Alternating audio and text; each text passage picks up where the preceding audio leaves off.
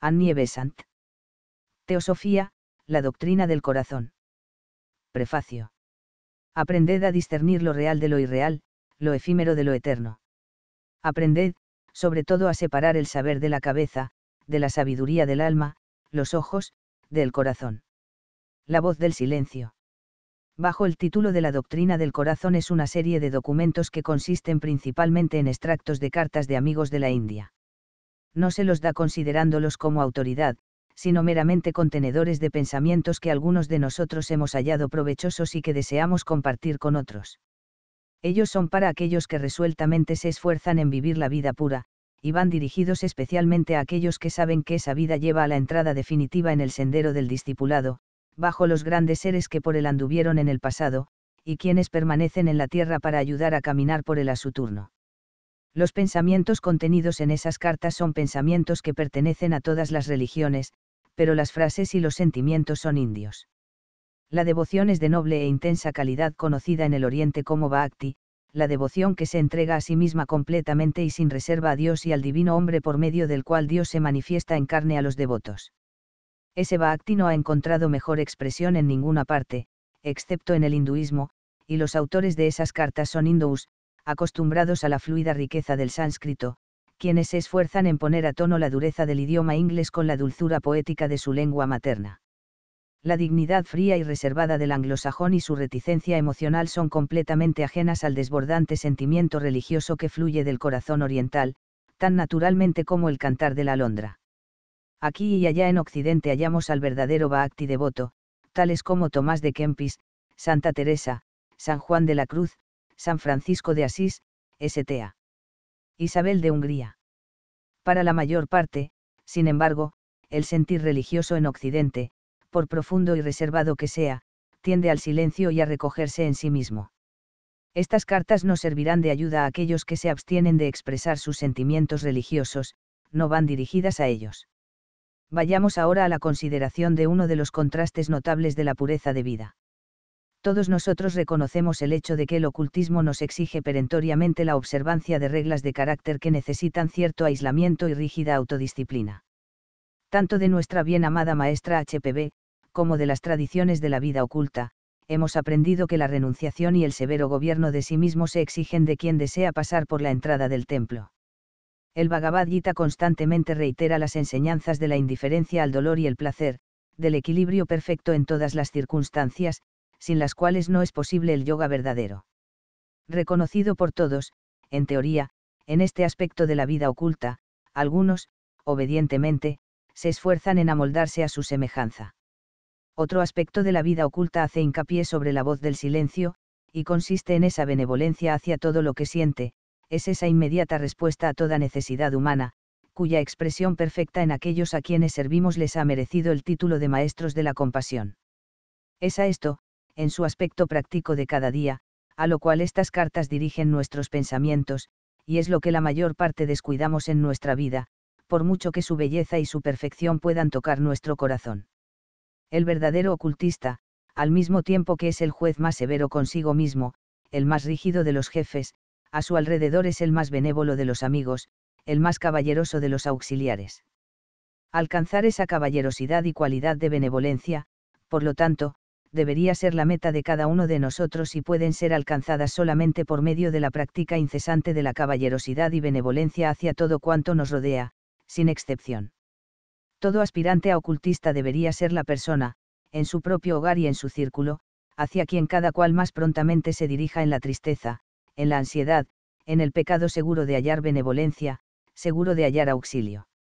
El más inatractivo y el más ofuscado, el más tonto y el más repulsivo deberían sentir que en él, por lo menos, tienen un amigo.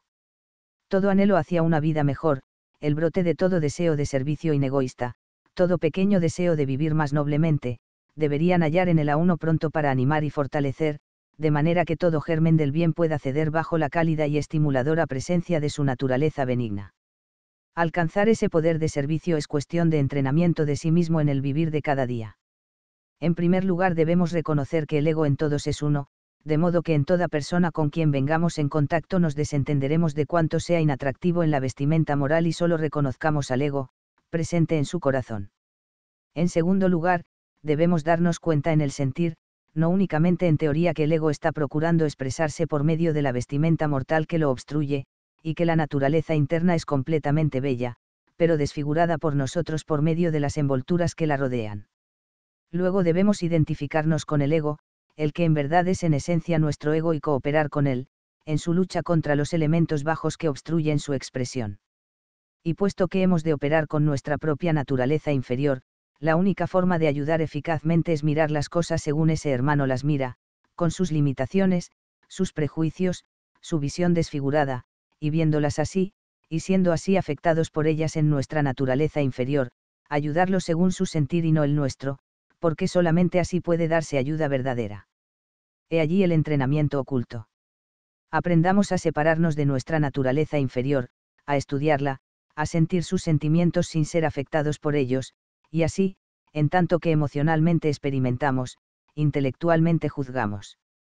Debemos utilizar este método por amor a nuestro hermano, y al sentir cómo él siente, tal como la nota sincronizada emite la nota de su cuerda correspondiente, así debemos usar nuestro yo desembarazado para juzgar, aconsejar, elevar, pero siempre usándolo de tal manera que nuestro hermano sea consciente de su noble naturaleza que se expresa por medio de nuestros labios debemos desear compartir lo que tengamos de mejor, no es el retener sino el dar lo que es la vida del espíritu. A menudo, lo que tengamos de mejor puede ser inatractivo para aquel a quien deseamos ayudar, así como la poesía elevada es para su pequeñuelo, en tal caso debemos dar lo mejor que él pueda asimilar, conservando lo demás no por exagerada parsimonia, sino porque él no lo quiere todavía. Es así como los maestros de la compasión nos ayudan a nosotros que somos como niños para ellos, de igual manera debemos tratar de ayudar a aquellos que son más jóvenes que nosotros en la vida del espíritu. No olvidemos que la persona que por casualidad se encuentra con nosotros en un momento dado es persona enviada a nosotros por el Maestro para que la sirvamos en ese momento. Si por descuido, impaciencia o indiferencia dejamos de ayudarla, hemos fracasado en el servicio del trabajo de nuestro Maestro.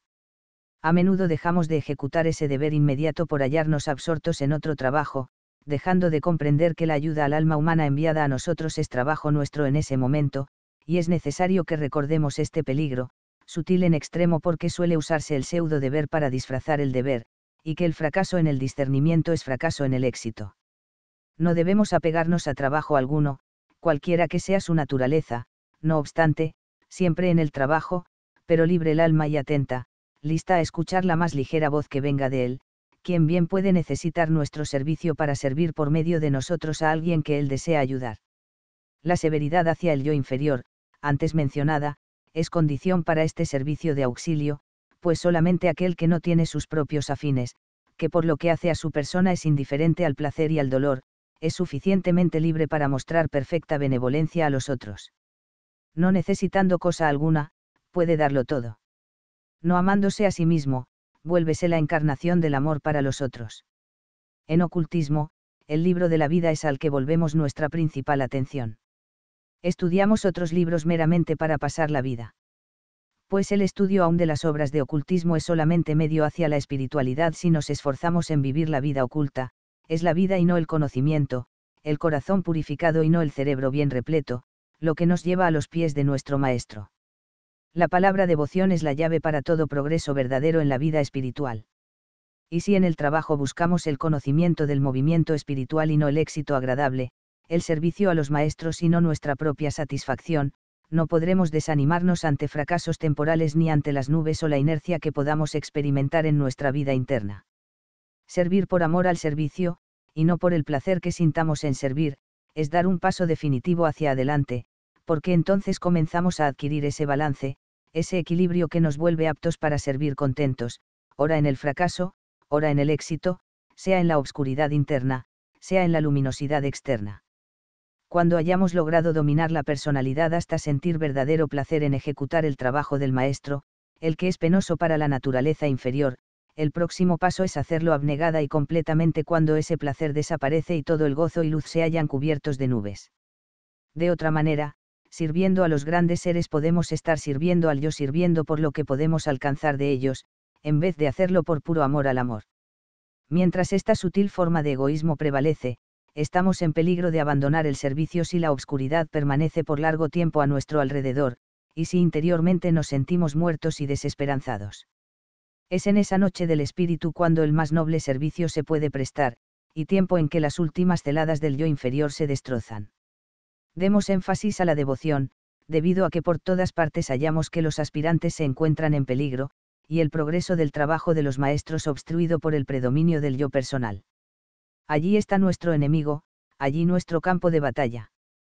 Una vez visto esto, el aspirante debería recibir con agasajo en su vida diaria todo cuanto elimine una pequeñita parte de su personalidad, y debería serle grato a todas las desagradables personas que le sigan las pisadas y le irriten la sensibilidad y le descompongan su amor propio. Ellas son sus mejores amistades, sus ayudantes más útiles y nunca deberían ser recompensadas con nada que no sea la gratitud por el servicio que hacen al magullar a nuestro más peligroso enemigo. Mirando así el vivir de cada día, este se vuelve una escuela de ocultismo, y comenzamos a aprender ese perfecto equilibrio requerido en los elevados pasos del discipulado, antes que el conocimiento profundo y por lo tanto el poder pueda ser colocado en nuestras manos. Donde no hay tranquilo gobierno de sí mismo, indiferencia a los asuntos personales, devoción serena para trabajar en pro de otros, no hay verdadero ocultismo, no hay verdadera vida espiritual. El psiquismo inferior no pide ninguna de estas cualidades, y por lo tanto se adhieren a él con anhelo los pseudo-ocultistas pero la logia blanca las exige a sus postulantes y hace de su adquisición el requisito de entrada en la corte de los neófitos. Por lo tanto, que sea la meta de todo aspirante el entrenarse para poder servir, practicar rigurosa disciplina de sí mismo a fin de que cuando el maestro mire en su corazón, no haya mácula en él. Entonces él lo llevará de la mano y lo dirigirá adelante. Audiolibro cortesía de la comunidad de audio lectores Filosofía y Letras. Búscanos en el canal de YouTube El Mundo de Arturo Garcés. El desastre pende sobre la cabeza del hombre que pone la fe en los atavíos antes que, en la paz de la vida interna, la cual no depende de los estados mentales o emocionales de la vida exterior. En efecto, cuanto más embarazosas las circunstancias y mayor el sacrificio respectivo de vivir entre ellas, tanto más cerca se halla uno de la meta final y lejos de la mismísima naturaleza de las pruebas a ser subyugadas. No es cuerdo, por lo tanto, dejarse atraer demasiado por ninguna manifestación exterior de la vida religiosa, pues todo cuanto se halla en el plano de la materia es efímero y fugaz, y ha de llevar al desengaño. Quien quiera que sea atraído fuertemente hacia cualesquiera de las modalidades externas del vivir, tarde o temprano ha de aprender la comparativa significación de todas las cosas externas. Y cuanto más pronto se pase por las experiencias requeridas por el karma del pasado, tanto mejor para el individuo. Es desagradable en verdad verse repentinamente arrojado de su elemento, pero la copa que cura la torpeza es siempre amarga, y debe apurárselas y ha de erradicarse la enfermedad. Cuando la suave brisa que viene del loto de sus pies susurra sobre el alma, entonces comprendes tú que las peores circunstancias inherentes no son lo suficientemente fuertes para malograr la encantadora música interna. Así como el europeo atraído por el ocultismo se siente más cerca de los grandes seres cuando pone sus pies en la India, tal se siente lindo cuando asciende a las nevadas alturas de Ababat. No obstante, es completamente una ilusión, porque no nos acercamos a los señores de la pureza por medio de locomoción física, sino volviéndonos más puros y más fuertes por medio del sufrimiento constante del pobre mundo alucinado con respecto a nuestros reverenciados señores, he recordado estas palabras, el silbido de la serpiente hace más daño al sublime Imabad que la calumnia y el abuso del mundo a algunos de nosotros.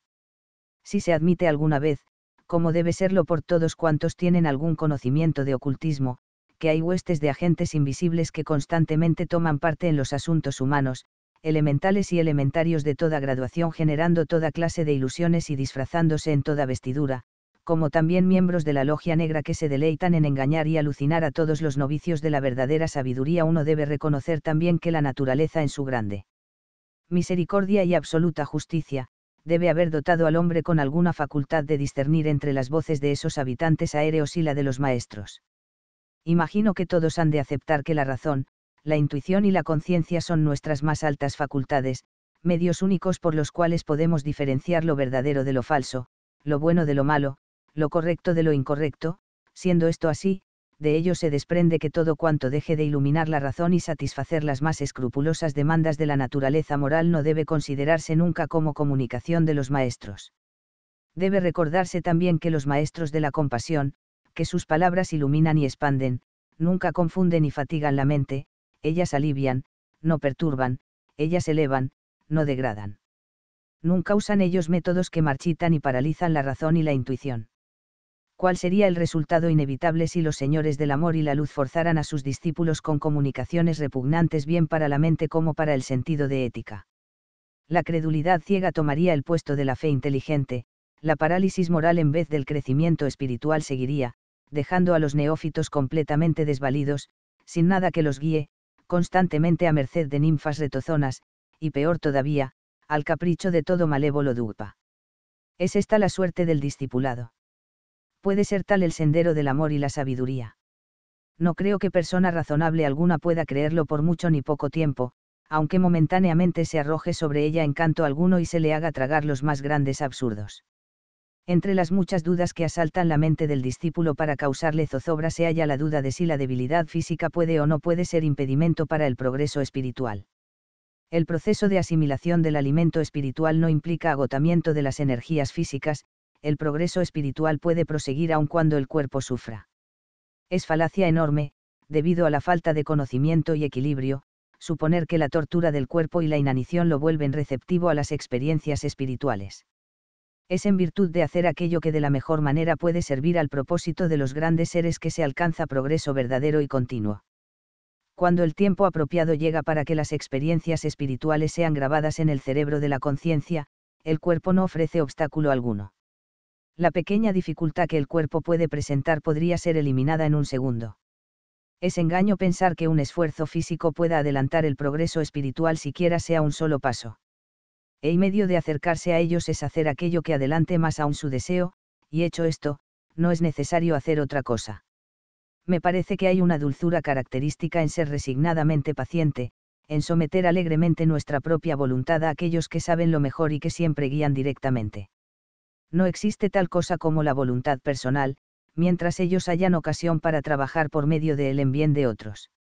Él puede sentirse a veces como abandonado mientras está solo, pero siempre los hallará a su lado cuando hay trabajo que hacer. Periodos de noches pueden alternarse con periodos de días, y ciertamente ha de estar bien que la obscuridad venga cuando ha de afectarnos a nosotros solamente, aun cuando nuestro dolor personal deba intensificarse por ello. Sentir su presencia e influencia es en verdad la más divina de las dádivas imaginables, pero aun eso debemos estar prontos a sacrificar, si renunciando a lo que consideramos es lo mejor y lo más elevado, el beneficio final del mundo se vuelve más fácil de alcanzar. Tratad de daros cuenta de la belleza del sufrimiento, cuando éste solamente os haga más aptos para el trabajo. Seguramente nunca debemos anhelar la paz si es que en la lucha el mundo debe recibir ayuda. Tratad de sentir que aun cuando la oscuridad parezca estar alrededor de vosotros, sin embargo no es real.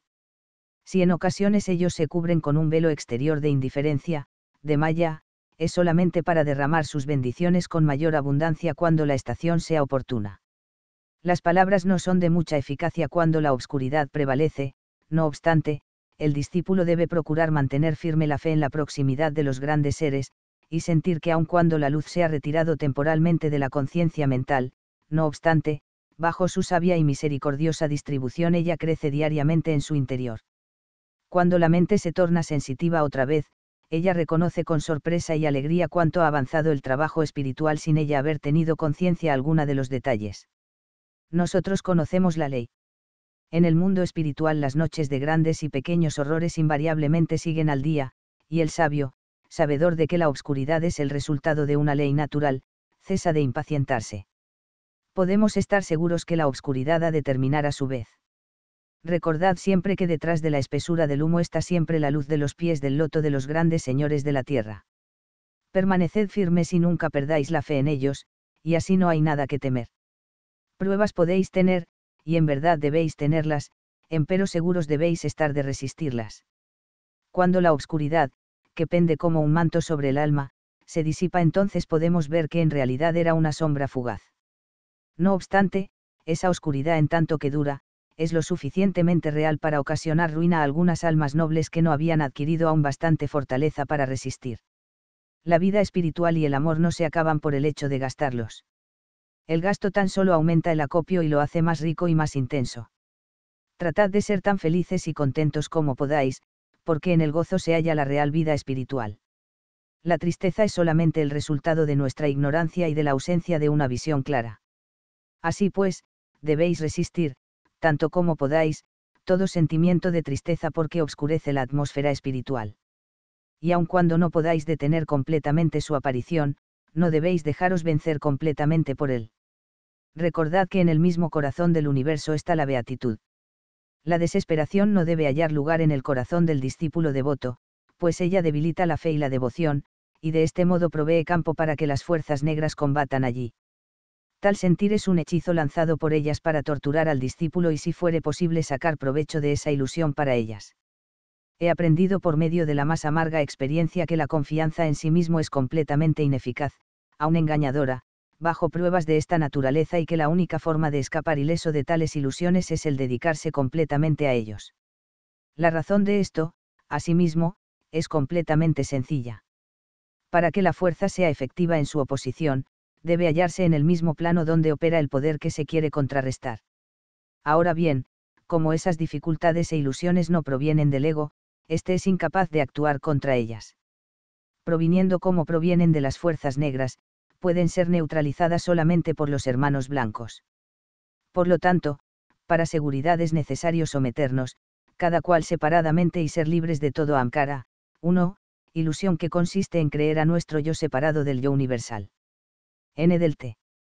Conociendo cómo conocemos que nuestra sociedad, la sociedad teosófica, o, en cuanto a eso, todo movimiento de alguna importancia se halla bajo la vigilancia y protección de fuerzas mucho más sabias y elevadas que nuestro pequeño yo, no debemos preocuparnos mucho acerca del destino final de la sociedad, pero sí, contentémonos cumpliendo consciente y diligentemente nuestros deberes para con ella, desempeñando según nuestro leal saber y entender el papel que nos sea asignado. Sin duda, el cuidado y la abnegación tienen sus funciones propias en la economía de la naturaleza. En el hombre común ellas ponen a trabajar el cerebro y aun los músculos en acción, y si no fuera por estos el mundo no habría llegado a la mitad del progreso alcanzado en los niveles intelectual y físico. Pero en cierta etapa de la evolución humana estos son reemplazados por el sentido del deber y el amor a la verdad, y la claridad de visión e ímpetu para trabajar de tal manera nunca pueden ser proveídas por ninguna suma de energía molecular o vigor de nervios. Por consiguiente, despojaos de todo desaliento, y con el alma vuelta hacia la fuente de la luz trabajad animosamente con rumbo a ese gran fin por el cual estáis aquí abrazando con el corazón a toda la humanidad, empero, perfectamente resignados por lo que hace al resultado de vuestra labor. Así lo han enseñado nuestros sabios, así exhortó SHRI Krishna a Arjuna en el campo de batalla, y así hemos de dirigir nuestras energías mis propios sentimientos con respecto a los sufrimientos del mundo son precisamente idénticos a los vuestros. Nada me duele más que el ciego y frenético empeño con el cual una gran mayoría de nuestros hermanos del género humano se dedican a la búsqueda del placer de los sentidos, y la vista errónea y eternamente vacía que tienen de la vida. El espectáculo de esta ignorancia y locura me toca el corazón mucho más tiernamente que las penalidades físicas que las gentes padecen. Y a pesar de que la noble oración de Rantideva me conmovió profundamente años atrás, con el vislumbre que desde entonces se me ha permitido en la naturaleza interior de las cosas, considero los sentimientos del Buda como más sabios y más trascendentales. Y aunque gustosamente sufriría la agonía para aliviar las torturas a que está sujeto un discípulo, no obstante, habiendo observado bien así las causas como las consecuencias íntimas de los sufrimientos de un discípulo, mi aflicción por ellas no es en intensidad la mitad de lo que es por causa de la miseria de esos ignorantes desventurados que inteligentemente pagan la mera pena de sus pasados errores. Las funciones del intelecto son meramente la comparación y la raciocinación, el conocimiento espiritual está más allá de esa esfera de acción. Posiblemente vosotros estáis ahitos de sutilezas en vuestro medio ambiente actual, pero el mundo, después de todo, es solamente una escuela, una academia de entrenamiento, y ninguna experiencia por penosa o ridícula que sea, carece de uso y valor para el hombre pensador. Los males con los cuales nos encontramos nos hacen más prudentes solamente, y los errores inexcusables que cometemos, nos han de servir bien en el futuro. Así pues, no debemos quejarnos de ningún acontecimiento por inenvidiable que parezca.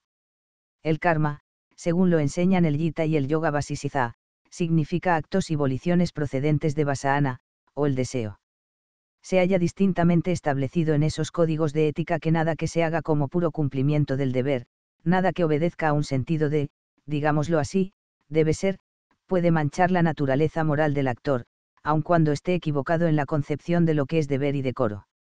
El error, por supuesto, tiene que ser espiado por medio del sufrimiento, el cual ha de ser en proporción con las consecuencias del error, pero ciertamente no puede manchar ni degradar el carácter de Jivatma, e ego individualizado. Es conveniente usar todos los acontecimientos de la vida como lecciones a convertirse en ventajas, el dolor causado por la separación de amistades que bien queremos puede usarse en esta forma. ¿Qué son el tiempo y el espacio en el plano del espíritu? Ilusiones del cerebro, entidades irreales meramente, que adquieren apariencia de realidad debido a la impotencia de la mente, involucros que aprisionan al jivatma. El sufrimiento meramente da impulso más potente y fresco para vivir del todo en el espíritu. Buena voluntad nos viene al fin a cada uno de nosotros como resultados del dolor, por lo tanto no debemos murmurar. Más aún, sabiendo que nada de consecuencia puede ocurrir a los discípulos que no sea la voluntad de sus señores, debemos considerar todo pequeño incidente como un paso hacia el progreso espiritual, como medio hacia ese desarrollo interno que nos ha de habilitar para servirles mejor, e igualmente a la humanidad. Si podemos servirles solamente, si en medio de todas las tormentas y conflagraciones nuestra alma se vuelve a los pies de su loto, que importan el dolor y los sufrimientos que éstos puedan infligir a nuestras vestimentas transitorias. Comprendemos un poco la significación interna de esos sufrimientos, estas vicisitudes de las circunstancias externas, que cierta suma de dolor sobrellevado significa igual suma de mal karma eliminado, que cierta cantidad de fuerza ganada en el servicio, significa lección bien aprendida. No son estos pensamientos suficientes para sostenernos en medio de cualquiera suma de tales miserias ilusorias. Cuán dulce es el sufrimiento cuando se sabe y se tiene fe, cuán diferente de las desdichas del ignorante y del escéptico del incrédulo. Casi podríamos desear que todo el sufrimiento y toda la miseria del mundo fueran nuestros a fin de que el resto de nuestros semejantes pudieran ser liberados y ser felices. La crucifixión del Señor Jesucristo simboliza esta fase de la mente del discípulo. No lo creéis así. Solamente sed firmes siempre en la fe y la devoción, y no os desviéis del sagrado sendero del loto y la verdad. Esta es vuestra parte, el resto lo harán por vosotros los compasivos señores a quienes servís. Vosotros sabéis todo esto, y si lo repito, es solamente para fortaleceros en vuestro conocimiento, pues a menudo olvidamos algunas de nuestras mejores lecciones, y en tiempos de dificultades el deber de un amigo es antes bien recordaros vuestros propios asertos que inculcaros nuevas verdades. Es así como Draupadi a menudo solía consolar a su sabio esposo Yudhisthira cuando horrendo infortunio momentáneamente daba en tierra con su acostumbrada serenidad, e igualmente así Vasisisa mismo recibía alivio y consuelo cuando se hallaba desgarrado por los golpes de la muerte de sus hijos. Verdaderamente indecible es el lado de Maya de este mundo.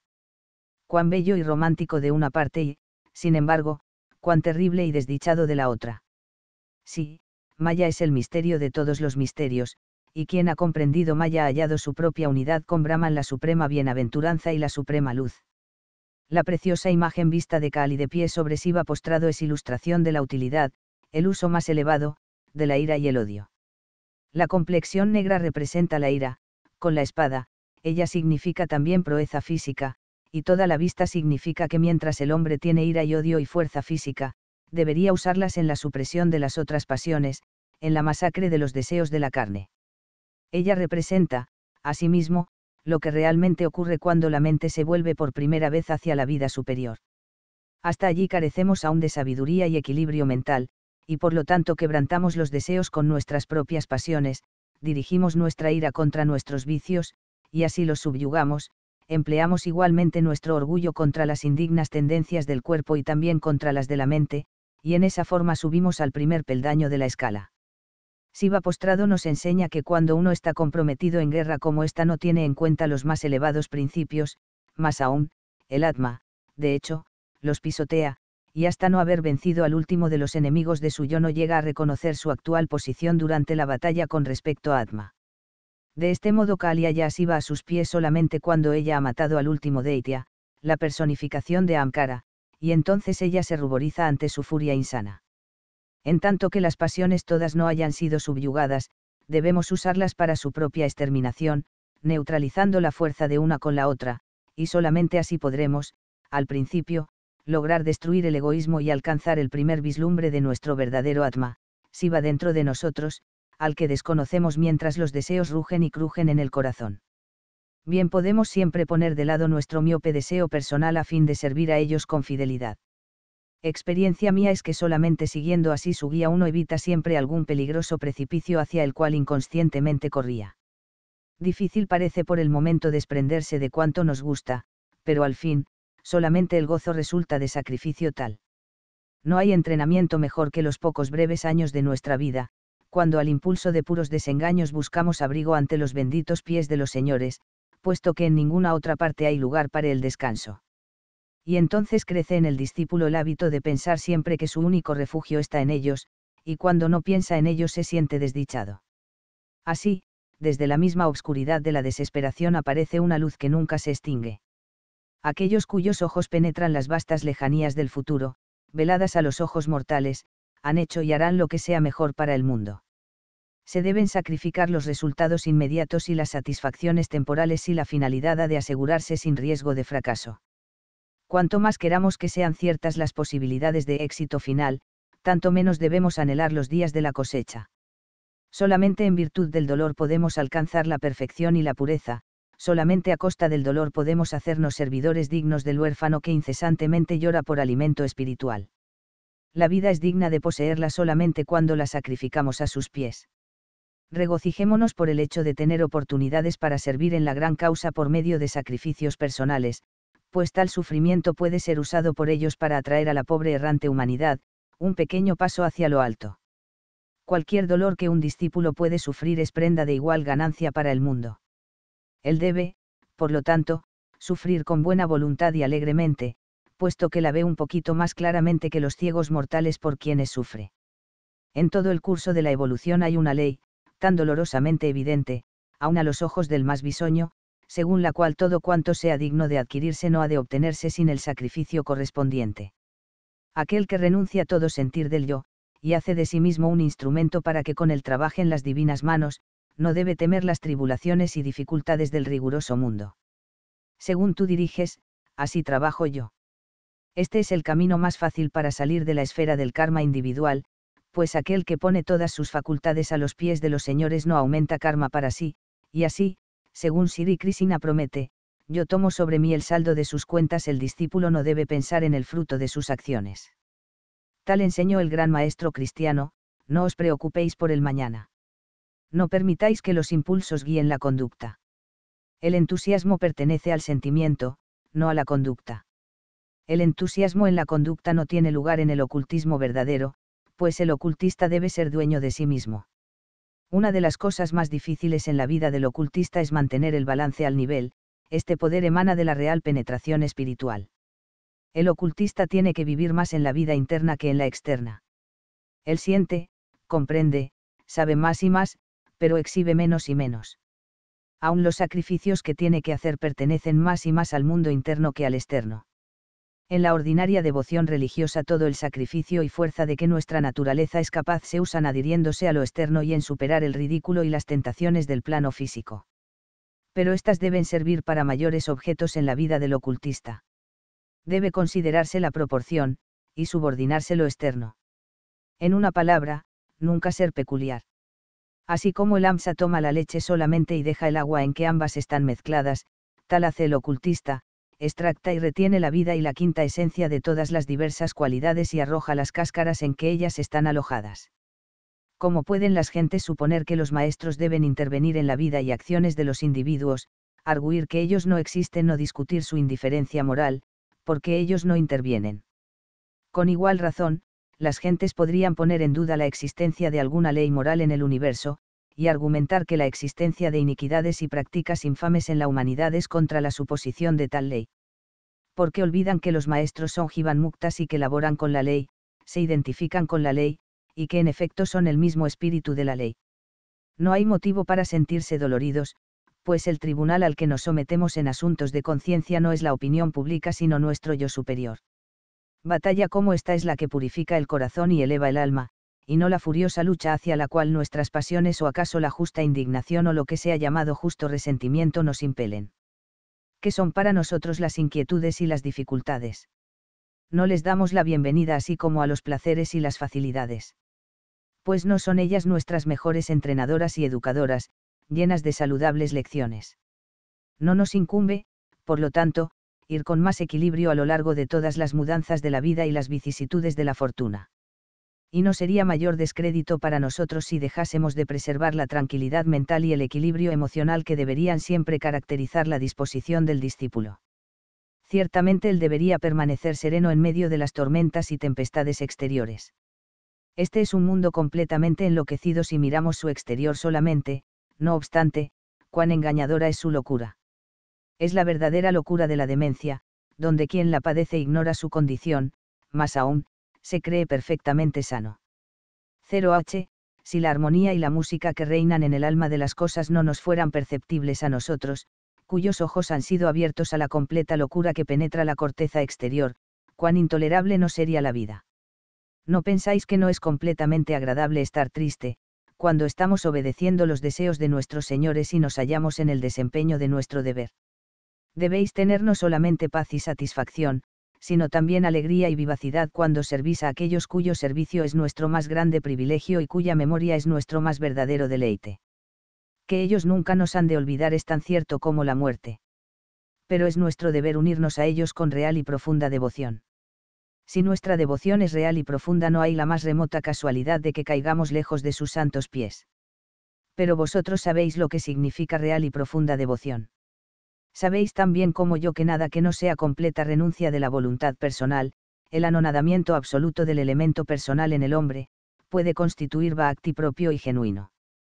Es solamente cuando toda la naturaleza humana está en perfecta armonía con la divina ley, cuando no hay una nota discordante en ninguna parte del sistema, cuando todos los pensamientos de uno, ideas, imágenes, deseos, voluntarias e involuntarias emociones vibran en contestación, en completa concordancia con el gran aliento, que se alcanza el verdadero ideal de devoción, y no antes de ello. Nos elevamos más allá de la posibilidad de fracaso solamente cuando se ha llegado a esa etapa de Bhakti, la única que asegura progreso perpetuo y éxito indudable. El discípulo no fracasa debido a falta de cuidado y amor de parte de los grandes maestros, sino, a pesar de esos desvelos a causa de su contumacia y debilidad innata. Y no podemos decir que la contumacia sea imposible en quienes asoman ideas de separatividad, impregnadas a lo largo de eones de ilusorio pensar y corrupción no erradicadas completamente aún. No debemos engañarnos a nosotros mismos de ningún modo. Algunas verdades son en verdad amargas, pero el curso más cuerdo es conocerlas y hacerles frente. Deleitarse en un fantástico paraíso es solamente cerrar la puerta del verdadero Eliseo. Es verdad que si nos sentamos deliberadamente para descubrir si existe o no existe en nosotros todavía algún rastro de separatividad o personalidad o algún deseo de contrarrestar el curso natural de los acontecimientos, podemos no hallar motivo alguno, razón alguna para dicha aseveración o deseo. Según sabemos y creemos que la idea de aislamiento es mero producto de Maya, que la ignorancia y los deseos personales emanan solamente del sentimiento de aislamiento y que son la raíz de todas nuestras miserias, no podemos por menos que rechazar con desdén esas falsas e ilusorias nociones cuando razonamos sobre ellas o acerca de ellas. Pero si analizamos los hechos actuales y nos observamos todo el día y tomamos notas de las varias modalidades de nuestro ser, variables con las diferentes circunstancias, una conclusión diferente se impondrá en nosotros por sí misma, y hemos de hallar que la actual comprensión en nuestra propia vida del conocimiento y creencia nuestro es todavía lejano incidente, y que ocurre solamente por breve momento tal vez, cuando estamos completamente olvidados del cuerpo o de cualquier otro medio material, y nos hallamos completamente absortos en la contemplación de lo divino, más aún, nos hallamos sumergidos en la divinidad misma. Para nosotros, gracias a la merced de los señores, las cosas de la tierra son más sencillas y más inteligibles que para el hombre del mundo, y es por eso que con anhelo dedicamos las energías de nuestra vida a su servicio. Toda actividad, caridad, benevolencia, patriotismo, etc., el cínico dirá con alegre desdén, es permuta, es pura cuestión de concesiones mutuas. Pero el más noble aspecto que aún está desdeñada honradez mercantil estrictamente interpretada y aplicada a las más elevadas esferas de la vida, presenta a las miradas superiores, está más allá del alcance del mofador arrogante, y así, él se ríe y desecha la honradez, llamándola mercantil, y el mundo tonto y festivo, ávido de un poquito de alegría, ríe con él y lo llama hombre sagaz e ingenioso.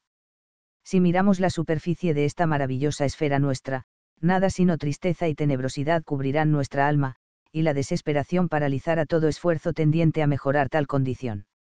Pero si miramos en lo más hondo, todas las inconsistencias se desvanecen, y todo parece bello y armonioso, y el corazón se llena de alborozo y alegría, y con liberalidad abre sus tesoros al universo circundante. Así pues, no debemos sentirnos descorazonados ante ningún panorama amenazador que veamos, ni lamentar la locura ni la ceguedad de los hombres en cuyo medio hemos nacido. Hay leyes fijas de moral, así como hay leyes físicas uniformes. Estas leyes de moral pueden ser violadas por el hombre, pues está dotado de individualidad y de la libertad a ella inherente. Cada una de esas violaciones se convierte en fuerza moral en dirección opuesta a aquello hacia lo cual la evolución se encamina, y es inherente al plano moral y en virtud de la ley de reacción cada una posee la tendencia de evocar la operación de la ley correspondiente. Ahora bien, cuando estas fuerzas opuestas se acumulan y adquieren forma gigantesca, la fuerza reaccionadora se vuelve necesariamente violenta y resulta en revoluciones morales y espirituales, en guerras piadosas, cruzadas religiosas y reacciones semejantes. Extended esta teoría y comprenderéis la necesidad de la aparición de avatares sobre la Tierra cuán fáciles se vuelven las cosas cuando se nos abren los ojos, inversamente, qué incomprensibles parecen ellas cuando la visión espiritual es ciega, nebulosa e inactiva. La naturaleza en su infinita generosidad ha provisto al hombre en los planos exteriores con facsímiles exactos de su funcionamiento interno, y en verdad, aquellos que tienen ojos para ver, pueden ver, y aquellos que tienen oídos para oír pueden oír. Cuán intenso es el anhelo de llevar auxilio al alma que sufre, en sus horas de horrenda prueba de melancólica obscuridad. Pero la experiencia muestra a quienes han pasado por pruebas similares, que es mejor para aquellos el no percibir en ese tiempo la ayuda que les es dada, y que sean agobiados con el triste sentir de la soledad y el hallarse totalmente desamparados. Si fuese de otra manera, la mitad de los efectos de la aflicción se perdería, y la fortaleza y el conocimiento que siguen a cada una de tales tribulaciones tendrían que adquirirse durante años y años de andar a tientas y tambaleando la ley de acción y reacción opera en todas partes. A aquel cuya devoción es completa, es decir, a aquel que de hecho como también en pensamiento consagra todas sus energías y todo cuanto posee a la suprema deidad, y se da cuenta de su propia insignificancia, así como también de la falsedad de la idea de separatividad a aquel solamente, no es permitido a las fuerzas de la obscuridad acercársele, y su alma está protegida de todo peligro. El pasaje del Gita en que podéis estar pensando debe interpretarse que significa que nadie que haya despertado en sí el sentimiento de devoción puede apostatar por siempre, pero no hay garantía para él contra aberraciones temporales. Sí, en un sentido, todo ser viviente, desde el ángel más sublime hasta los más insignificantes protozoarios, están bajo la protección del Logos y su sistema, y son llevados a través de varias etapas y modalidades de existencia de regreso a su seno, a gozar allí las bendiciones de Mouksia por una eternidad. Lo exterior siempre revela lo interior a los ojos que ven, y los lugares y las gentes son siempre interesantes. Por otra parte, lo exterior no es aquello tan vil y despreciable como puede usted imaginarse durante la primera intensidad y agudeza de baralla, o disgusto expresado. Pues si fuera así, toda la creación sería un desatino y un derroche de energía sin propósito. Pero sabéis que de hecho no es así, que por el contrario hay una filosofía sabia y profunda aún en estas ilusorias manifestaciones y vestiduras externas, y que Carlyle en sus Artas Resartus ha mostrado una parte de esta filosofía. ¿Por qué entonces retirarnos con desagrado y con horror aún de los más indeseables desechos? ¿No son también benditas y llenas de sabias lecciones las vestiduras con que la suprema divinidad se disfraza? Con razón decís que todas las cosas, tersas e impuras, tienen lugar apropiado en la naturaleza y que por su misma diferencia y variedad constituyen la perfección del Supremo Logos. ¿Por qué debe cortarse la comunicación con el mundo interno, causando melancolía y pesadumbre al corazón? Porque el exterior tiene todavía algunas lecciones que enseñar, y una de ellas es que él también es divino en su esencia, divino en su substancia y sus métodos, que por lo tanto debéis serle más bondadosos. De otra parte, la tristeza y la melancolía tienen su uso y filosofía se necesita de ellas para la evolución y el pimpollecer del alma humana como del gozo y el encanto. Sin embargo, se las necesita solamente en las primeras etapas de nuestro crecimiento, y se pasa sin ellas cuando el ego ha florecido y ha abierto su corazón al divino sol. Vosotros sabéis cómo opera la evolución. Comenzamos sin sensación alguna. Gradualmente la desarrollamos, y en cierto punto de nuestra peregrinación la poseemos en el más intenso grado luego viene un periodo en el cual se considera la sensación como malla, y así comienza a disminuir y el conocimiento predomina, hasta que al fin éste incinera toda la sensación, y entonces poseemos absoluta paz. Pero, ninguna en la nesciencia, como en los comienzos de nuestra vida en el reino mineral, más sí en la omnisciencia, paz, no en la completa apatía como si fuera la muerte, tal como la vemos en las piedras, sino en vida absoluta y absoluto amor. Esto haya descanso, porque da vida a todo lo que es, y derrama sus bendiciones en todo el universo. Pero los extremos se tocan, y así en uno de los aspectos los principios coinciden. Deseo aclarar dos puntos, uno, que la psique no entrenada siempre corre el riesgo de promover cosas realmente dichas por el enemigo como si fueran preceptos del maestro, y, dos, que el maestro no dice nada que el intelecto de su auditorio no pueda comprender, y contra lo cual no se revele su sentido de moral. Las palabras del maestro, por mucho que ellas se opongan a los pensamientos previos de uno, nunca dejan de llevar consigo la más absoluta convicción, bien así al intelecto como al sentido de moral de la persona a quien van dirigidas. Ellas vienen como revelación y rectifican un error que inmediatamente se torna evidente, fluyen como columna de luz que disipa la melancolía, no demandan credulidad o fe ciega. Bien conocéis vosotros cuánto el enemigo ha estado trabajando contra nosotros, y si faltamos en la devoción a los maestros, o en el desempeño de las obligaciones que ellos han tenido a bien encomendarnos, Él nos dará dificultades sin fin. Pero no hacemos mucho caso de tales dificultades, podemos sobrellevarlas con eterna paciencia y sin incomodarnos. Lo que nos tortura y perturba nuestra tranquilidad mental es el arrancarnos del lado de nuestros señores, con lo cual de cuando en cuando estamos amenazados. Ninguna otra cosa puede atormentarnos, ningún dolor personal, ninguna pérdida física por grande que sea su intensidad pues sabemos sin duda alguna que todo cuanto es persona es transitorio y fugaz, que todo cuanto es físico es ilusorio y falso, y que nada sino el destino y la ignorancia lloran por las cosas que son del mundo de las sombras. Poco gana el discípulo de las enseñanzas en el plano intelectual. El conocimiento que desciende del alma hacia el intelecto es el conocimiento único digno de poseerse, y tan seguro como la sucesión de los días el acervo de conocimiento del discípulo aumenta y con el aumento de tal conocimiento viene la eliminación de todo lo que le sirve de obstáculo en el sendero. La vía del dolor es una a la cual llega a acostumbrarse quien quiera que vive la vida del espíritu. Nosotros sabemos que el dolor no puede durar por siempre, y aun cuando durase no importaría mucho. Nosotros no esperamos ser de mucho servicio a los maestros o a la humanidad, sin tomar de los enemigos nuestra completa medida de sufrimiento. Pero la ira de los monarcas de la obscuridad es a veces terrible de encarar, y ellos perfectamente lo aterran a uno con el maya que en ocasiones crean. Pero el corazón puro no tiene nada que temer y está seguro del triunfo.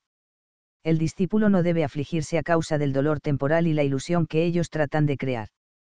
Ocasiones hay en que ellos parecen ejecutar continuos estragos internos, y entonces él mismo tiene que sentarse sobre las ruinas, en paciente espera del momento en que el asúrico, 2, ilusión diabólica. N del T. Maya se retire siempre debe dejar que las olas de la duda y la inquietud pasen sobre él manteniéndose firme en el áncora que él ha hallado. El enemigo no puede causar daño real o considerable, en tanto se mantenga devoto a ellos con toda su alma y con toda su fortaleza. Quien se une a mí, fácilmente cruza el océano de la muerte y el del mundo por medio de mi ayuda. Nada puede sucederle al discípulo que no sea para su bien. Una vez que una persona deliberadamente se pone en las manos de los benévolos maestros, ellos miran que todo suceda en debido tiempo, el tiempo en el cual se obtengan las ventajas más grandes, tanto para el discípulo como para el mundo. Por lo tanto, jovial y alegremente, él debe aceptar todo cuanto le venga, sin pensar en el mañana. La corteza agitada por enfurecida mar se halla más en paz que la vida del peregrino en marcha hacia el templo del espíritu. Una vida pacífica significaría estancamiento y muerte en el caso de uno que no haya adquirido el derecho a la paz en virtud de la completa destrucción del enemigo, la personalidad. Vosotros no debéis caer en las falacias que comete el ignorante. Todo amor verdadero es atributo del espíritu, y prana y bhakti son dos aspectos de la divina prakriti, naturaleza, la que hace digna de vivirse la vida del aspirante a las aguas de la inmortalidad. En la tempestuosa obscuridad de la vida del discípulo la única luz viene del amor, pues el amor y Ananda, el arrobamiento, en el sentido más elevado son idénticos, y cuando más puro y espiritual es el amor, tanto más participa éste en la naturaleza de Ananda y tanto menos se mezcla con elementos discordantes. Solamente el santo amor del Maestro es tan majestuosamente sereno al extremo de no haber nada en el que no participe de lo divino. Discreción y economía son tan necesarios en ocultismo como en toda esfera de actividad. En efecto, en la vida del ocultista todas las facultades de la mente humana consideradas como virtudes en el sentido corriente son puestas al uso y ejercicio más grandes, y son aditamentos necesarios de la vida real, la única que sola puede formar al discípulo. No puede ayudarse al mundo tan fácilmente como lo imaginan muchos, aunque hubiera más agentes. El conocimiento de parte del discípulo no es el único que se necesita. Mirad alrededor y reflexionad, antes de decidir si el conocimiento y la devoción de los pocos pueden acelerar las manos del reloj. Ni aun la menor tentativa puede hacerse sin provocar la hostilidad feroz del otro lado. Y está el mundo preparado para sobrevivir a la reacción. Vosotros comprenderéis cuán sabios son nuestros. Señores, al no ir más lejos de lo que ellos van, si solamente aprendéis de todo cuanto habéis visto. ¿De qué valdría la vida si no sufriéramos, sufrir para volver más puro al mundo que lanza quejidos ante nuestros ojos, sufrir para ganar un poquito más de las aguas de la vida con que matar la sed de algunos labios resecos. En efecto, a no ser por el sufrimiento que es el destino del discípulo que con pies sangrantes va por el sendero, él podría descarriarse y perder de vista la meta en la cual sus ojos deben estar siempre fijos. El maya del mundo fenomenal es tan turbador, tan fascinador que tal me parece que a la eliminación del dolor debe inevitablemente seguir el olvido de las realidades de la existencia, y que con la desaparición de la sombra de la vida espiritual su luz desaparecería también. En tanto que el hombre no haya sido transformado en Dios, es inútil esperar hallarse en no interrumpido gozo de la bienaventuranza espiritual, y en tiempos de su ausencia solamente el sufrimiento mantiene firme los pies del discípulo y lo libra de la muerte, que seguramente le llegaría con el olvido de la realidad del mundo espiritual. El discípulo no debería inquietarse ni sorprenderse cuando las fuerzas espirituales dirigidas contra él por el adversario hallan su campo de acción en un plano más elevado que el del intelecto físico. Es verdad que las moribundas ascuas en alguna invisible y obscura grieta pueden, de acuerdo con su propia naturaleza, ser agitadas y convertidas en llama, pero la llama es algo que forma la señal de la destrucción final de alguna debilidad que debe ser incinerada. En tanto que la mancha de la personalidad no se lave y desaparezca, el vicio en sus múltiples formas puede hallar abrigo en alguna olvidada parte del corazón, aunque no haya expresión en la vida mental. Y la única manera de volver inmaculado el santuario del corazón es dejar que los rayos de luz del proyector penetren en las obscuras grietas y con calma presenciar el trabajo de su destrucción. Nunca debe el discípulo permitir que ese proceso purificador lo haga desmayar, cualesquiera sean las monstruosidades que deba presenciar él debe mantenerse firme a los pies de aquel que mora en la gloriosa región purificadora de todo lo que es material, entonces él no tiene nada que temer ni que le cause ansiedad. Él tiene fe en aquellos que lo protegen y ayudan y hace bien en dejar las actividades del plano espiritual al cuidado y dirección de ellos. Cuando el oscuro ciclo termine, él percibirá el brillar del oro cuando la escoria sea calcinado. En esta mundana esfera nuestra, como en todos los planos de existencia, la noche se alterna con el día, sombras hay aún bajo la misma lámpara. Empero, cuán extraño que los hombres de cultura y erudición fantaseen que, con el avance de la ciencia, de la tosca ciencia materialista, las miserias individuales, raciales y nacionales han de cesar para siempre y por siempre, enfermedades, plagas y sequías, guerras e inundaciones, más aún que cataclismos, todos han de ser cosas de remoto pasado el interés que tenemos en todos los asuntos de esta efímera esfera pertenece solamente a las emociones y al intelecto, y no puede tocar el alma. En tanto que nos identifiquemos con el cuerpo y la mente, las vicisitudes que agobian a la sociedad teosófica y los peligros que amenazan su vida o solidaridad pueden ser influencia deprimente para nuestro espíritu, influencia frenética en ocasiones. Pero tan pronto como vivamos en el espíritu para comprender la naturaleza ilusoria de la existencia externa, el carácter cambiante de todo organismo humano y la inmutabilidad de la vida interna, sea que la conciencia cerebral refleje o no el conocimiento, sentiremos calma interna y despreocupación, si tal vale decir, en este mundo de sombras y permaneceremos inafectados por las revoluciones y erupciones de la Tierra. Una vez que se ha llegado al ego superior, el conocimiento de que las leyes y los poderes que gobiernan el universo son infinitamente sabios se vuelve instintivo, y la paz en medio de las angustias externas es inevitable. Hablando corrientemente y de un modo general, en el plano en que vivimos hay tres puntos de vista para considerar la miseria en general. Podemos considerarla, por ejemplo, 1. como prueba o ensayo del carácter, 2. como agencia de retribución o justo castigo, 3. como medio de educación en el sentido más amplio de la palabra.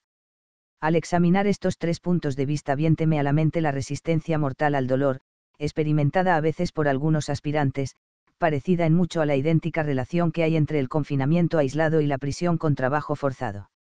Sin duda alguna, esta ilustración es un tanto cruda, no obstante, me parece muy sugestiva, pues he hallado que la analogía es buen auxilio en la comprensión de lo abstracto y de las proposiciones sutiles, tal es el motivo de este plan para explicar las cosas.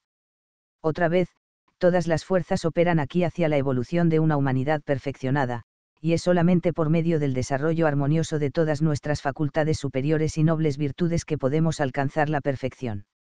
Y este desarrollo armonioso es posible solamente mediante el ejercicio apropiado de esas facultades y virtudes, mientras que ese ejercicio, a su vez, requiere condiciones particulares para cada distinto atributo. El sufrimiento intenso y positivo ni prueba ni compensa o pone en actividad las mismas aptitudes y méritos de la humanidad como un pesado, melancólico vacío interno paciencia, sufrimiento resignado, fe, devoción, se desarrollan mejor durante una lobreguez mental que durante una lucha dura y activa. La ley de acción y reacción se aplica en el plano moral, y las virtudes evocadas por ese embotamiento mental son las más apropiadas para combatirlo y vencerlo, y ciertamente no son las mismas con las cuales confrontéis el dolor actual, por atormentador que sea. Una palabra más sobre este asunto y continuaré. Ese estado mental indica que el peregrino está en la línea divisoria entre lo conocido y lo desconocido con definida tendencia al segundo. Ella marca un grado definido de crecimiento espiritual e indica el estado en que el alma en su marcha progresiva, vaga, pero inequívocamente, ha comprendido el carácter evasivo del mundo material, está insatisfecha y disgustada con las cosas groseras que ve y conoce, y ansía las cosas más reales, conocimiento más substancial. La explicación precedente, aun cuando sucinta e inconexa, espero que os satisfará respecto de la utilidad de Vairagya, del sentir la ausencia total de la vida y la realidad tanto en vosotros mismos como en el mundo que os circunda, en la economía de la naturaleza, y os muestre cómo ella sirve de criterio para la firmeza mental y la sencillez del corazón, de qué manera como medida punitiva actúa como antídoto contra el egoísmo intelectual, el inexcusable error filosófico de identificar el ego. Con la personalidad, la locura de tratar de nutrir el alma con grosero alimento material, y además, como desarrolla ella o, antes bien, tiende a desarrollar la verdadera fe y devoción, y despierta la razón superior y el amor de lo divino. De lo alto a lo bajo, la vida es una alteración entre el movimiento y el reposo, entre la luz y la obscuridad, entre el placer y el dolor. Así pues, nunca permitáis que vuestro corazón se hunda en la desesperación ni dejéis que lo arrastre cualquier corriente de pensamiento adversa habéis comprobado intelectualmente, y en la actualidad estáis experimentando el fantástico e ilusorio carácter de las cosas perceptibles por los órganos sensorios y aún por la mente, y la efímera naturaleza de todos los placeres físicos y emocionales. Manteneos firmes, por lo tanto, en la senda que os ha de llevar a una visión de la verdadera vida, por escabrosas que sean las regiones por donde ella ha de cruzar, por privados de alegría que sean los desiertos que de cuando en cuando ella ha de atravesar. Sobre todo, tened fe en los compasivos maestros, con alma y corazón dedicaos a su servicio, y todo ha de tener buen fin. Todo lo necesario para la extirpación de cualquier vicio es, 1. Conocimiento exacto del vicio en sí mismo. 2. El reconocimiento, un agudo sentir de que es un vicio, que es necesidad el mantenerlo, y que es indigno, y finalmente, 3. La voluntad de exterminarlo. Esa voluntad ha de penetrar en la esfera subconsciente donde mora el vicio y pausadamente, pero con certeza, lo exterminará. La verdadera tranquilidad mental nunca es producto de la indiferencia y la impasibilidad, ella puede proceder solamente de la introspección alta y profunda de la sabiduría. El discípulo de la gran logia de ellos, por humilde que sea, debe vivir en lo eterno, y su vida debe ser la vida del amor universal, de lo contrario, él debe abandonar sus altas aspiraciones. El servicio activo que cada discípulo debe prestar al mundo es diferente para diferentes clases de estudiantes, y está determinado por la naturaleza peculiar, disposición y capacidad del individuo. Por supuesto, vosotros sabéis que mientras no se alcance la perfección, deberá mantenerse la variedad aún en el modo de servicio que el chela debe llevar a cabo. Es simplemente imposible presuponer la eficacia de la verdad en todas sus fases y conexiones en la obra de impulsar el avance de la evolución del alma humana. Debemos amar a la verdad, buscar la verdad y vivir la verdad, solamente así puede el estudiante de ocultismo ver la divina luz, la que es verdad sublime. Donde quiera que hay la menor inclinación hacia la falsedad en cualquier forma, allí hay sombra e ignorancia y su prole, el dolor. Y esta inclinación hacia la falsedad pertenece a la baja personalidad, sin duda. Es aquí que nuestros intereses chocan, es aquí que la lucha por la existencia se halla en plena acción, y es aquí, por lo tanto, que la cobardía, la improbidad y el fraude hallan amplio campo. Los signos y síntomas del funcionamiento de este yo inferior no pueden nunca permanecer ocultos para quien ama sinceramente la verdad y busca la verdad y siente devoción por los grandes seres en lo íntimo de su conducta. A menos que el corazón sea perverso, nunca dejarán de hallar coyuntura las dudas acerca de la rectitud de cualquier acto en particular, y entonces el verdadero discípulo se ha de preguntar, ¿complacerá a mi maestro el que yo haga tal o cual cosa?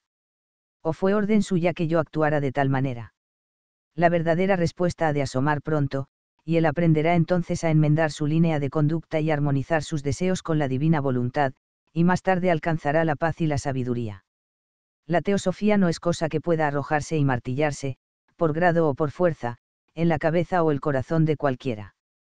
Debe asimilarse con facilidad en el natural curso de la evolución, debe ser aspirada e inhalada como el aire que nos rodea. De lo contrario, valiéndose de una expresión común, causaría indigestión. Al sentir el crecimiento de la propia alma, uno se da cuenta de que los acontecimientos externos parecen no tocarla. Esto, una vez más, es la mejor prueba del desarrollo espiritual, y quien lo sienta, por insignificante y leve que sea, no necesita preocuparse por ningún fenómeno de ocultismo.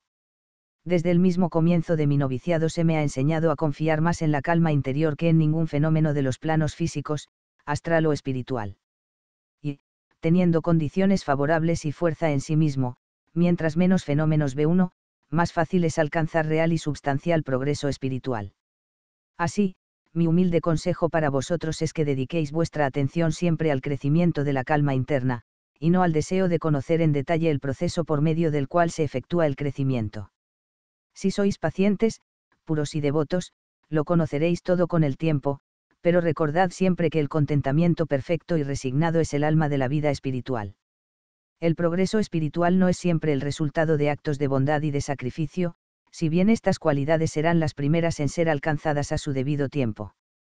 Es verdad que en el deseo de ganar el afecto de las personas a nuestro alrededor, hay un matiz de personalidad que, si fuera eliminado, nos haría ángeles, pero debemos recordar que en el transcurrir de un futuro largo, muy largo, nuestras acciones han de verse matizadas con un leve sentir del yo.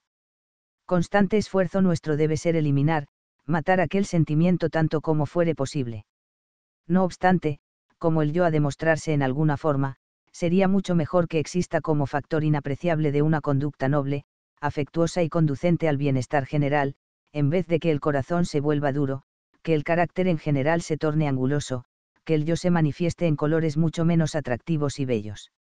Ni por un momento sugiero con esto que no se hagan esfuerzos en orden a borrar esa leve mancha, lo que quiero dar a entender es que el bello ropaje que sirve de vestidura a la mente no debe arrojarse al fuego simplemente porque su blancura no es inmaculada. Debemos tener en mente que todas nuestras acciones son más o menos el resultado de dos factores, el deseo de la complacencia de sí mismo y el deseo de beneficiar al mundo, y nuestro esfuerzo constante debería ser atenuar el primer elemento en todo cuanto sea posible, puesto que tal vez no sea completamente eliminado hasta que deje de existir el germen de la personalidad este germen podrá ser matado por medio de procesos que el discípulo aprende a medida que progresa, con la devoción y las buenas acciones. Los maestros están siempre cerca de aquellos servidores suyos que por medio de la renuncia de sí mismos se han dedicado en cuerpo, mente y alma a su servicio. Aun una palabra bondadosa a ellos dirigida no queda sin recompensa.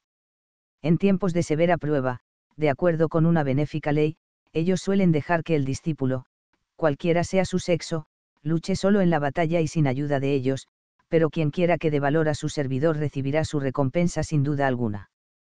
Conservándose sereno y desapasionado, no hay duda que, tal como los días pasan, uno se acerca más y más a esa influencia que es la esencia de la vida, y un día el discípulo se sorprenderá de haber crecido maravillosamente sin conocer ni percibir el proceso del crecimiento. Pues, en verdad, el alma en su verdadero crecer, crece como la flor, inconscientemente, pero ganando en dulzura y belleza al embeber la luz solar del espíritu. La lealtad combativa a persona o causa alguna es escasamente recomendable en el discípulo, y ciertamente no es indicio de progreso espiritual. El primer paso, en casi todos los casos, tiene el efecto de perturbar un panal de avispas. Todos los sobrantes de vuestro mal karma os rodean y se os adhieren firmemente, y volverían voluble y trémulo a quien no supiera mantenerse firme. Pero aquel cuyo máximo objetivo sea el de dar su vida por otros si fuese necesario, sin preocuparse por sí mismo, no tiene nada que temer. Las sacudidas mismas de los altos y bajos de esa vorágine de miserias y tribulaciones dan fuerza y confianza, y forjan el crecimiento del alma. Recordad que el sufrimiento por el cual el discípulo tiene que pasar es porción de su entrenamiento, emana de su deseo de quebrantar la personalidad en él. Y al final el hallar que la flor de su alma se embellece más encantadoramente, pues que la tormenta sobre la cual ha triunfado y que el amor y la benevolencia del Maestro compensan con creces todos sus sufrimientos y sacrificios es una prueba momentánea solamente porque en fin de fines él ha sacrificado nada y lo ha ganado todo.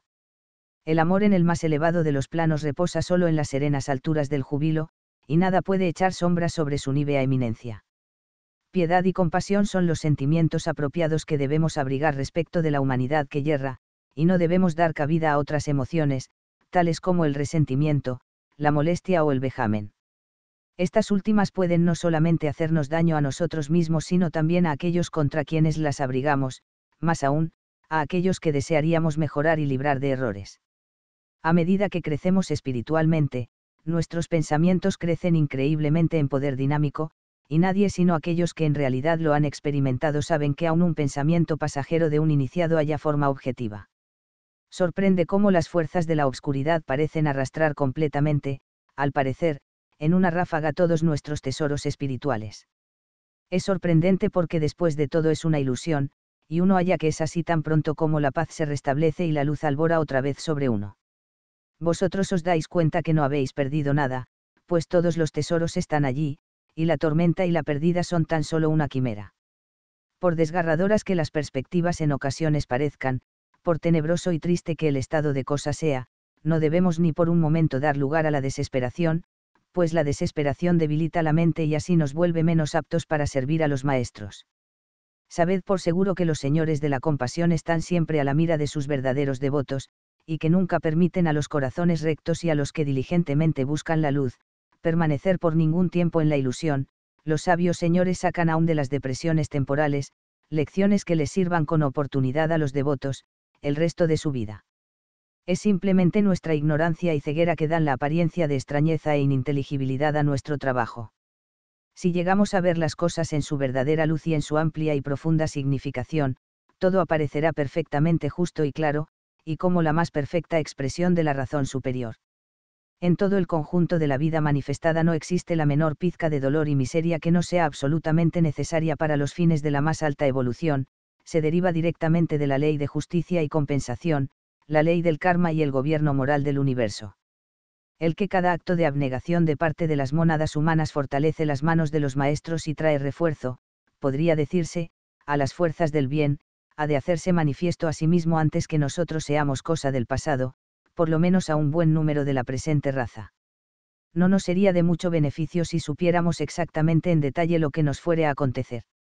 Pues los resultados no nos interesan, y tendríamos cuidado tan solo de nuestro deber, en tanto que vemos claro nuestro camino es de poca importancia el resultado de los pasos que tomamos en este plano.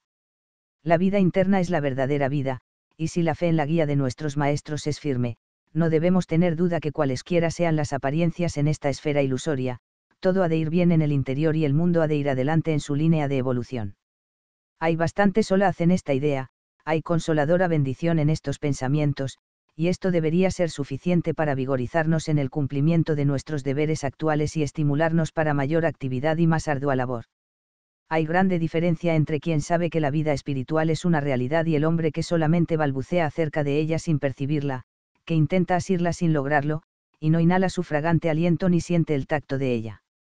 Hay mucha más sabiduría en aquellos que nos vigilan de lo que somos capaces de imaginar, y si solamente pudiéramos poner nuestra fe en esto, no caeríamos en inexcusables errores y estaríamos seguros de evitar innumerables y aún innecesarias zozobras. Pues no pocos de nuestros errores podrían rastrear su origen al exceso de ansiedad y terror, a la mucha tirantez de nervios y aún al fervor excesivo. Vosotros podéis ver ahora que la devoción sincera es factor poderoso en la promoción del crecimiento del alma, aun cuando no se vea ni se comprenda por el momento, y no me acusaréis de haberos dicho que pongáis a un lado toda idea de fenómenos y conocimiento espiritual, poder psíquico y experiencias anormales. Pues en el sereno sol de la paz toda flor del alma sonríe y crece, rica en su radiante color peculiar. Y luego, día vendrá en que el discípulo mire con asombro la belleza y fragancia delicada de cada flor, se regocije, y regocijándose comprenda que esa belleza y ese resplandor emanan del Señor a quien él ha servido. El proceso del crecimiento no es el trillado y detestable artículo conocido a los chapuceros en ocultismo. Es algo misterioso, tan dulce, tan sublime, que nadie puede hablar de ello, pero puede conocerlo solamente por medio del servicio. Vosotros habéis probado algunas gotas de las ambrosíacas aguas de la paz, y al probarlas habéis hallado fortaleza. Sabed ahora y para siempre que en la quietud del alma reside el verdadero conocimiento, y que de la divina tranquilidad del corazón proviene la fuerza. La experiencia celestial de la paz y el gozo es por lo tanto la sola vida espiritual, y el solo crecimiento en la paz significa crecimiento del alma. Presenciar fenómenos anormales con los sentidos físicos puede solamente incitar la curiosidad, pero no promover el crecimiento. Devoción y paz forman la atmósfera donde mora el alma, y la mayor suma que de ellas poseáis determinará la mayor suma de vida que vuestra alma posea. Dependid siempre, por lo tanto, de las experiencias de vuestro yo superior como prueba de vuestro progreso, como también de la realidad del mundo espiritual, y no deis ninguna importancia a los fenómenos físicos, los que nunca son, ni jamás han de ser, fuente de fortaleza y solaz.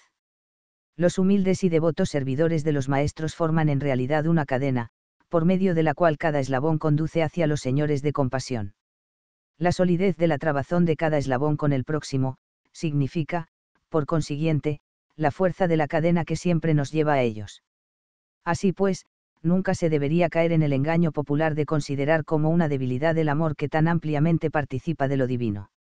Aun el amor común, si es verdadero, profundo e inegoísta, es manifestación elevada y pura del ego superior, y si se abriga en el pecho con constancia y deseo de sacrificio de sí mismo, lleva en definitiva a la comprensión clara del mundo espiritual más que cualquier otro acto o emoción humana. ¿Y qué hay del amor que tiene por base la común aspiración de alcanzar el trono de Dios, que, de la oración conjunta para sufrir por la ignorante y descarriada humanidad, y que de la mutua promesa de sacrificar la propia felicidad y comodidad por el mejor servicio de aquellos que constantemente con sus bendiciones están construyendo un baluarte entre las terribles fuerzas del mal y la indefensa huérfana, la humanidad. Pero las ideas del mundo se hallan todas tergiversadas por el egoísmo y la vileza de la naturaleza humana. Y si en el amor hubiere debilidad, no sé dónde se encuentre la fortaleza. La fortaleza verdadera no consiste en la lucha y en la oposición, pero sí, se halla todopoderosa en el amor y en la paz interna. Así, el hombre que tiene interés en vivir y crecer debe amar y sufrir por el amor. Cuando es que el mundo, ciego en su ignorancia y envanecimiento, ha hecho amplia justicia a sus verdaderos salvadores y a sus más devotos servidores.